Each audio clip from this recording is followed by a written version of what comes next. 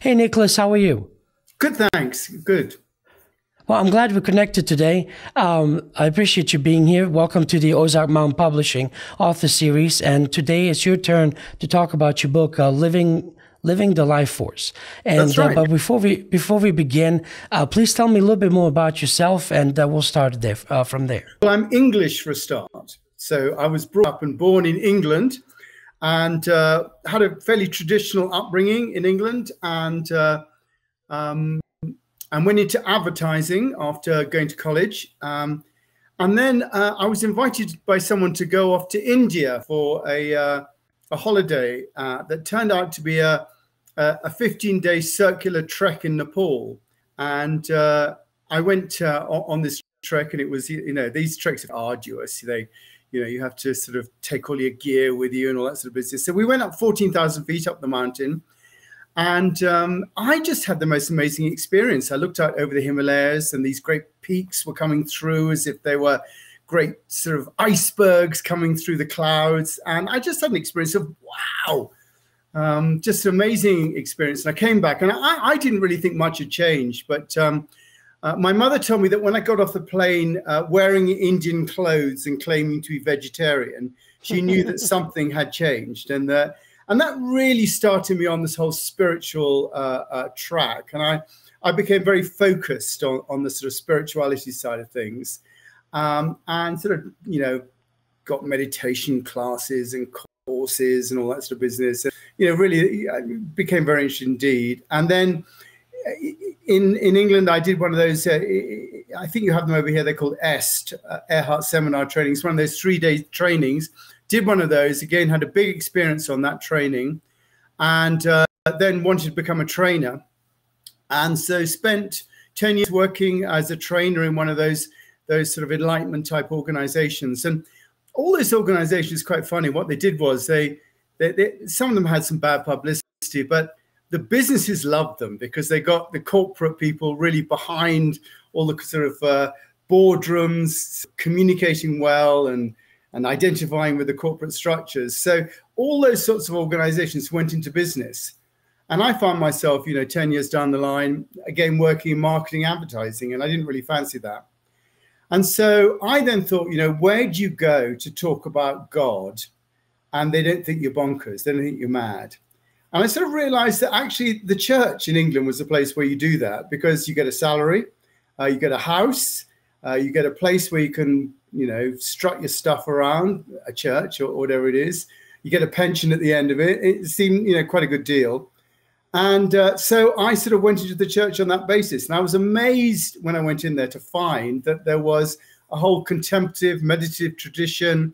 So I just sort of slotted right in. And I found that there's an old expression in England if you, uh, you can do anything so long as you don't frighten the horses. And I was able just to get my language right and didn't really frighten anybody, and uh, and so ended up in the Church of England as a priest.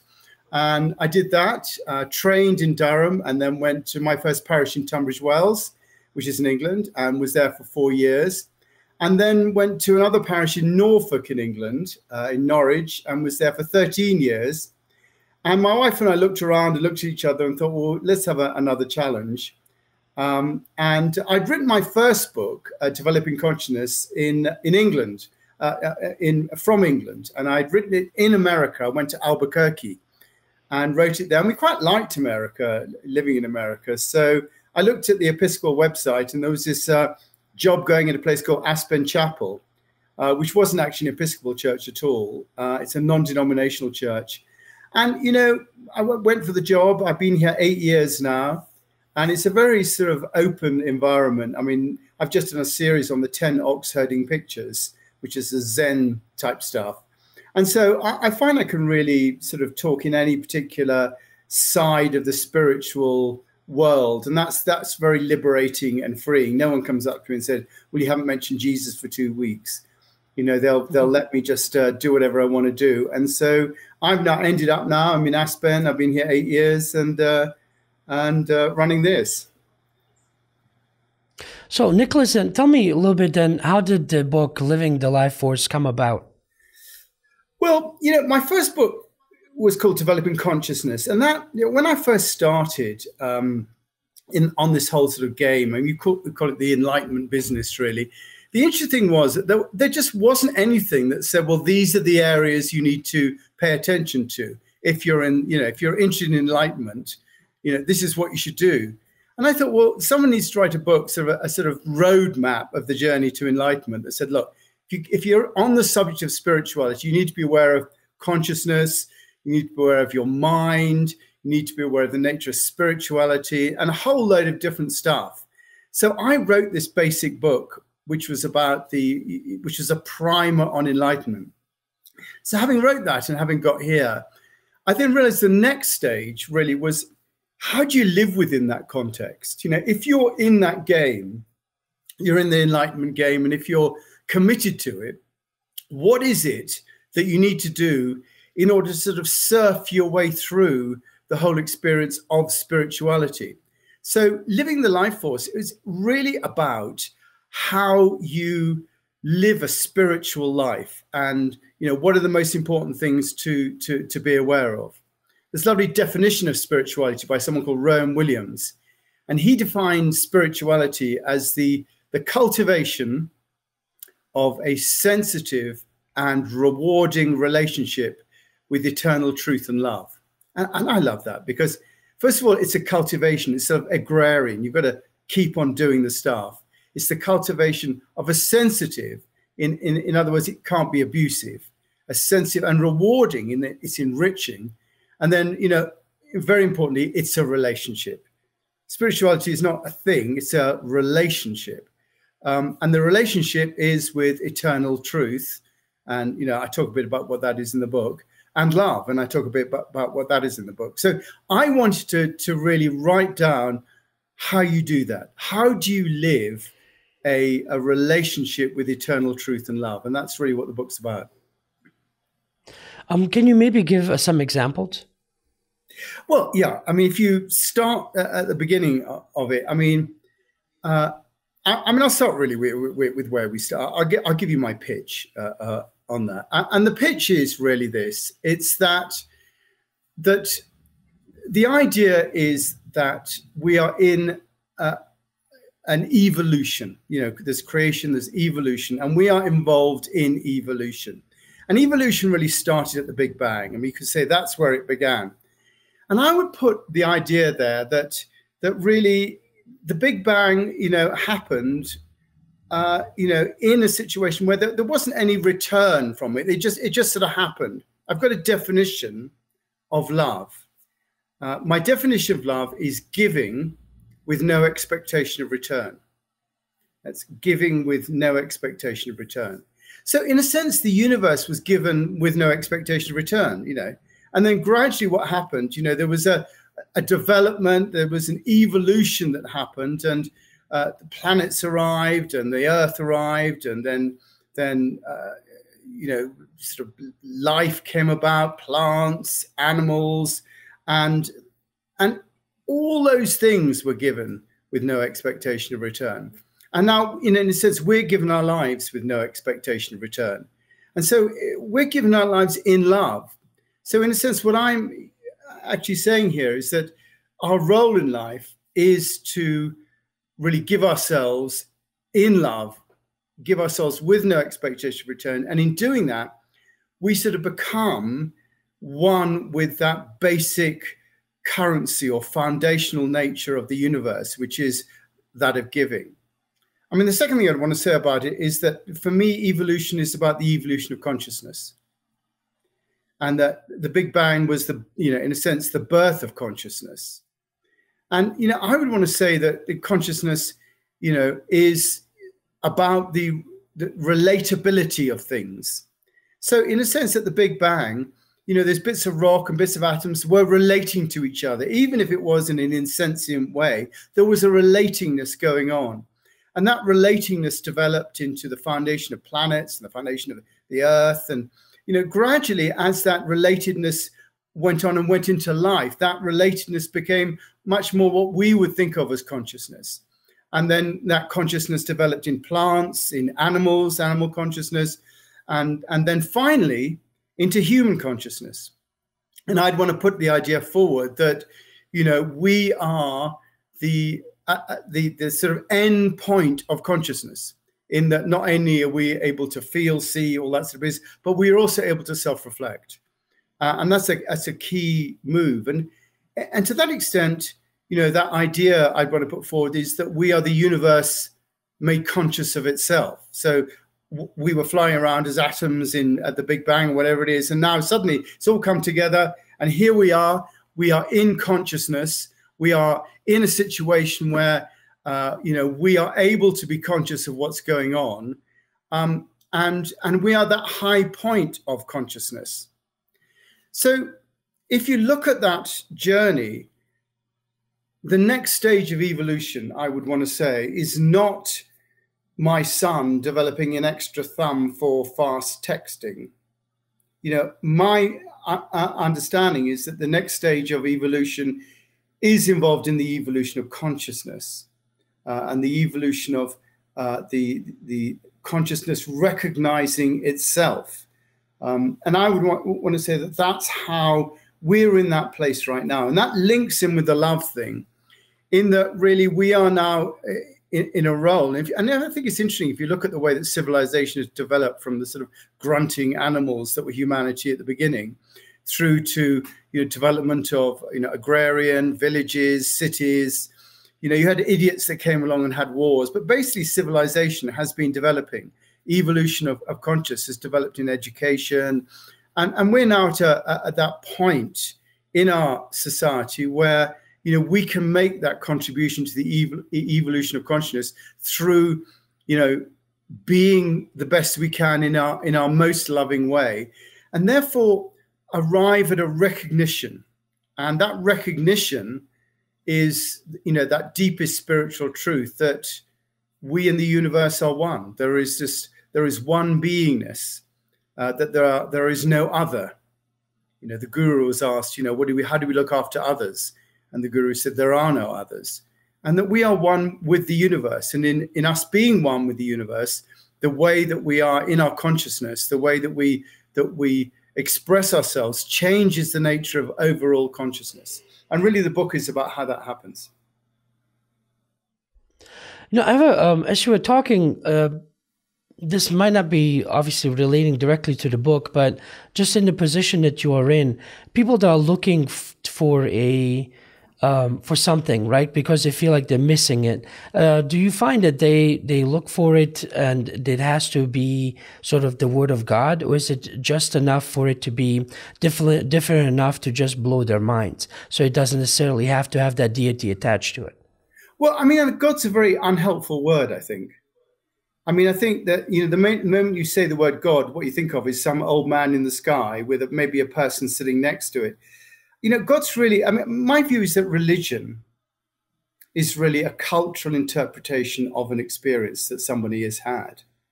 And so I, I wouldn't want to really talk about God. Um, I'd want to really more talk about, you know, the ground, a ground of all being, a, a sort of spiritual DNA. I, I mean, I like the idea, you know, of a cosmic ordering, that there is a fundamental spiritual DNA at the center of all things and that just like DNA, you know, I think DNA is a very interesting thing. You know, desoxyribonucleic acid. You know, DNA is the organizing principle uh, in in life in humanity, and DNA really is about you know it's the foundational cooperation between the cells within us that that creates life. And I think that that fundamentally there is a, a spiritual DNA at the center of all things. You know, in Christians we might call it the Christ nature. You know, they might call it, you know, Taoists would call it the Tao. Uh, um, you know, Buddhists and, and, and, and, Hindus, you know, might, might call it something else. Uh, you know, all different religions call it in, in different ways. But there is a, a fundamental urgingness forward of, of a spiritual DNA that makes that come about. And for me, that's the most interesting thing. I mean, here we have a sort of strapline here, which is you know, when people say, "What are you about here?" I mean, my view is what we're about here is how do you live your life more skillfully? How do you live your life more skillfully? And I think that if you understand the context within which you live, then you're able much more to live your life much more skillfully by by doing that. So in a sense, the whole idea of living the life force is about being in contact with that spiritual DNA and allowing it to express itself through you. So, Nicholas, um, I wanted to ask in your book, do you sort of have um, steps for people that are just now learning about these things and getting into uh, spirituality and wanting to know more? Do you give a, um, a order of steps, such, sort of uh, like a one, two, three step for somebody to uh, who is not confident about, am I doing this right? Am I am I learning these things the right way? Um, um, do, uh, is there such a thing in your book? Yes. Um, the way that the book works is it starts uh, uh, really at the beginning with, you know, what's going on. And I think it's important to put everything in a context of what is going on in our world at the moment. And then from that, it, it takes us to what our place is within what's going on and then describes how we interact with it. So there's a theoretical idea of what's going on, and then it places us within that that environment of what's going on. And then the second thing I do in the second half of the book is that I look at the, the evolution of consciousness and how each of us and how society itself has evolved from basic um, infant consciousness, which is really saying, you know, give me food, give me sex, give me all that sort of business. There's a basic infant consciousness that then moves into sort of magical consciousness and then mythical consciousness, rational consciousness. It just shows the way that our consciousness transforms as we go through the years. Um, and I think that people can find themselves in those different places and identify where they are in relationship to those different levels of consciousness. So I think more it enables us to the book is there to position ourselves within the greater cosmic reality. Where am I? You know, what's going on out there? Where am I in relationship to that? And then it will give some basic ideas as to what we can do to to actually attune ourselves to live in a more sort of productive way. And so when you initially uh, wrote the book, then would you say that you were almost kind of like um, uh, had just graduated from this understanding that you were like, okay, it's time for me to write about this because you, in a way, went through these steps yourself? I think that's true. I think that it is absolutely true. I mean, I would not have been able to write this book 10 years ago. I would not have been able to write this book 10 years ago. And I think the key thing for me, uh, you know, the, the most, I always, when people come talk to me, I say, where does the rubber hit the road spiritually for you? And for me, the rubber hits the road in my uh, in, in meditation. And this book came out of the work that I have done in meditation. And I think that the, the journey we have to take is from our, our heads, our minds being in charge. And most of the time, our minds are in charge. You know, our minds are telling us what to do, you know, how we can get on in life, what's best in life. And in meditation, it takes us down to our hearts and we open that heart nature. And we do that by focusing not on our thoughts and our minds, but focusing maybe on our breath or on a mantra or in a candle. And what you gradually do in focusing on that candle, in focusing on that mantra, in focusing on that breath, is you grow your heart capacity. And in growing your heart capacity, you grow a different way of knowing. And it is the knowing from the heart rather than knowing from the mind. Um, and I think that that's what I've done over the, this last period of time is grown from the heart rather than from the mind. And I've had the freedom to explore here. I've not been sort of, you know, people don't say to me now, okay, right, we need you, uh, we need a sermon on the parable of the sower, or we, you know, I mean, they don't make me do that. So what I can do is to do some much more interesting exploration of, of, of what the nature of development might be. And that's enabled me to explore. And we've just done a series here on the 10 ox herding pictures, uh, just looking at, you know, how those Zen 10 ox herding pictures show the different stages of enlightenment. And you can find those, uh, uh, those, those talks and things like that at, um, at our, our website, aspenchapel.org. And there's a video library, and you can just see that. And there are podcasts as well on those subjects on Apple. If you put Aspen Chapel into the Apple podcast list, uh, then uh, you'll get that. You know, what would you recommend somebody that's reading your book and um, as often humans get so impatient because they, ex- they have expectations of, well, this is not happening quick enough, or I don't see the changes, or I don't understand this. What advice can you give? Well, I think the first thing you want to say is this, this is going it's not going to sound good, this, but first thing I want to say is that actually, you know, the thing you get very quickly is, is there is nowhere to be, there is nowhere to go. Um, and it's a, it's a realization of that um, that is at the center of all spiritual development. It's a realization that there is nowhere to go. And when you start, you think, oh, I want to get enlightened. I want to have this experience. I want to have that experience. I want to, you know, I, I want to, to, to almost consume me. I want to gain this. I want to have a seeing the light experience, a Paul on the road to Damascus. I want to be like the Buddha. I want to get my Buddha nature all tuned up and, you know, organized and so that I can be, you know, guru Buddha, all that sort of business. You know, that, there's an acquisitionness about that.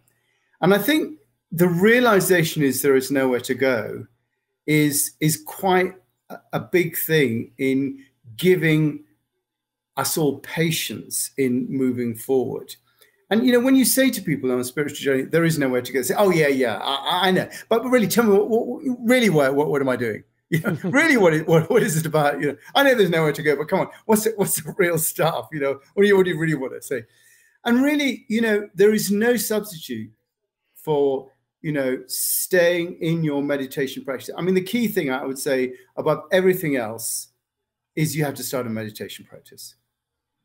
There is just no getting away from it. You know, it, you have to start a practice. I mean, that practice, you know, I live in the mountains here. That practice can be, you know, it doesn't have to be sitting there, you know, omming away, you know, all that sort of business. You don't have to do it like that.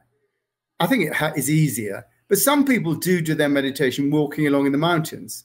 Some people do their meditation in different sorts of ways. However, it is, you know, what you have to do, and I do say this in the book, you have to um, set a time aside, and this time is for giving house room to that divine, to, you know, to that life force. I'm going to set this time aside, and I'm going to open myself to that life force. And for the next 15 minutes, it's going to be about nothing but that life force. And in doing that, I'm not going to think about it, but I am just going to follow my breath, or I'm going to walk this road, or I'm going to do whatever I'm doing for my practice. And I am not going to indulge my thoughts. I'm not going to be thinking about this and thinking about that, or even thinking about my practice. I am going to be focused on just opening my heart and, you know, when you do that, gradually, you know, your heart does begin to open. And when your heart begins to open, then um, you start to see life in a different way. And I think you have to have the patience, you know, to keep going. I've been on this game since 1979. Now, what was the year now? It's 2023. So that's 79, 89, 99, 109, 119, 21, to 45 years nearly. I've been on the game on this game. And I think you, you just got to have a long view on this. And, you know, when you do it, you'll find if you do sort of persevere, you will find the books come your way, courses come your way, people come your way. You know, they always say that you don't find the path, the path finds you. You don't find the path. You know, the path finds you. And as, as you open yourself to being called by the path, you recognize the signs of the path going like this. You see the path and you just move along that. Yeah, sorry. No, I was just going to say is that um, in my personal experience, and many times, you know, that I've talked to hundreds of different people that have written books, had experiences, you know, um, people listening, I don't think they understand the basic importance of meditation. They always think, okay, that, well, that's great. Is there anything else I can do? It's almost like, you know, you almost want to jokingly say, yeah, sure. Just, you know, you know, stand on your head for three, three minutes, you know, and then do a swirl and then the answers will come to you. You know, it's, um, uh, they just don't see that as, as simply a, um, truly the key uh, to to begin somewhere. You know, it's like they always just think of it because it's been so it's been used in movies and other places, and they hear it so many times they don't realize like truly just sit and and and breathe. I totally agree with you. I mean, you're absolutely right on that. I mean, I think it, it's you know it is it, it's the fundamental development, and and I think this is where the evolution of consciousness comes from. It is evolving. You know, in my book, I talk about evolving from rational consciousness, where you think about everything, where you think about what's going on, how it's all happening, thing, to visionary consciousness. You know, Gandhi was one of visionary consciousness, where you think the possibilities of the future, to the evolution to soul consciousness, where you become an expression of that nature. Now, in order to become an expression of that spiritual DNA, whatever you like to call it, in order to become that, what you have to do is get out of the way. And your mind is, you know, so useful, so brilliant, so fantastic.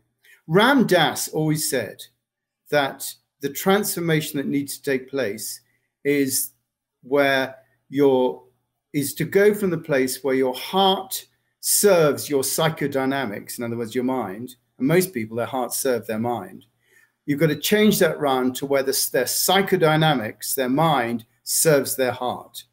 And the heart has to take charge of the situation. And I think that, you know, that is the transformation that needs to take place. And when you go into that visionary consciousness, when you get out of the way, when your mind gets out of the way, then suddenly your heart can come through.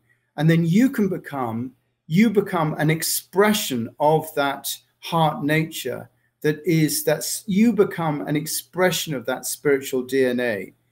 You know, Thomas Merton famously says that famously says that you know a word cannot understand the person that uttered it, but if you can become the word that God has uttered in you, if you can actually become that, uh, then you become a, a different sort of expression.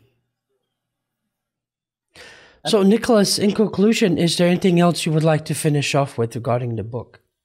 Well, you know, I think that this journey is the journey that that all humanity needs to take. I mean, you know, it sounds ridiculous, but this is the this is the direction that people, you know, need to go in their lives for us to transform this world. I mean, you know, we're in a situation where it's more and more important that the world begins to look after itself. I mean, you know, you look at the fact that, you know, nowadays we have climate change, we have 80 million refugees around the world, we have all these things going on at the moment. And somehow we have to get to a point where, as a world, we begin to look after ourselves. You know, we've got to stop killing people. Humanity has to stop killing people. And in order I to do that, Dad. sorry? I was saying I agree. That's that's a very good point. I mean, we're the only. Look at this. You know, if you look at the DNA, look at the DNA of life. It's all it's all going along, right? And it, uh, and we're one bit of it. Humanity is one bit of that DNA. And what's happening is that we're the one bit that's not cooperating. We're just strangling it all. You know, we're we're killing each other. We're killing the planet. It's got to stop. You know, we've got to start. You know, China's problems are our problems. Our problems are China's problems. There is one thing to say to handle every single problem in the world. There's one thing that you can say that will totally transform every single situation that exists in the world. And that thing you can say is, How can I help? That should be the response in all situations that we give. How can I help? What can I do? What is it that I can do? We need to develop that spirit of cooperation in our world. And the first thing we need to do is stop killing each other. Uh, and, and really, the book is about how to do that. Well, Nicholas, thanks very much for your time today. Um, I'm, of course, going to have all your links in the description below this video. So if people want to learn more about you and know where to get the book, the links will be in the bottom. And, uh, well, thank you again. You know, and uh, I'm, I'm jealous that hopefully maybe this year we might be able to take a vacation to Colorado. Oh, not this year, next year, 2023. So, uh, but I don't know. It's still still in the works. Well, you'd be so welcome. Do come see us. That'd be absolutely fantastic. I'd love that. Yeah, that would be great. All right. Well, thanks again, and I hope we can do this again sometime. Thank you very much indeed. Okay. You take care of yourself. Thank you.